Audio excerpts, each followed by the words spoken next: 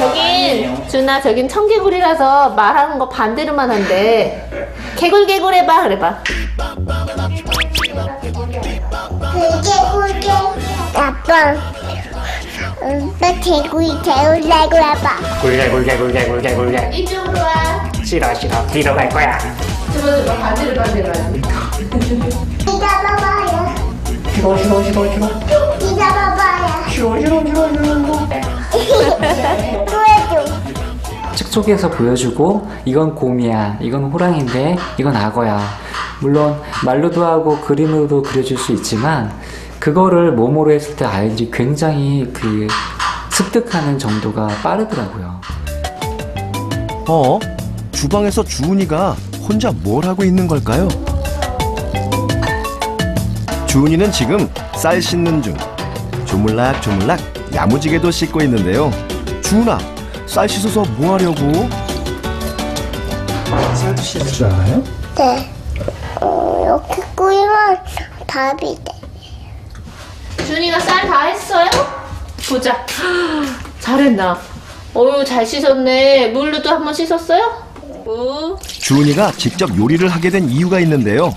준이가 좀 야채를 잘 안 먹거든요. 그래서 아, 야채를 잘 먹이기 위해서 제가 생각을 하다가 고민했던 게 아, 같이 음식을 하는 걸 생각했었거든요.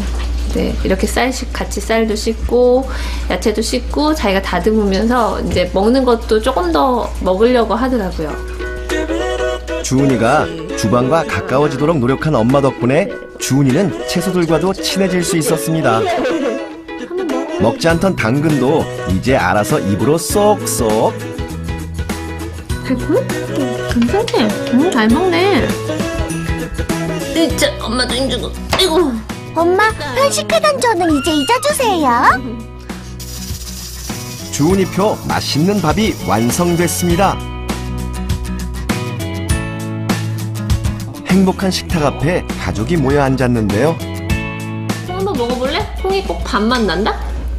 고기 맛이 어떤 맛이야? 엄마한테 알려줘? 고기만 정말? 엄마도 먹어볼까? 응 음, 진짜 맛있다.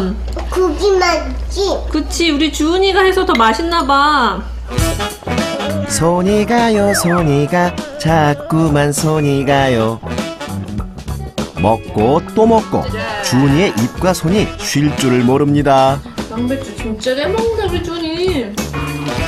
음, 밥맛이 최고예요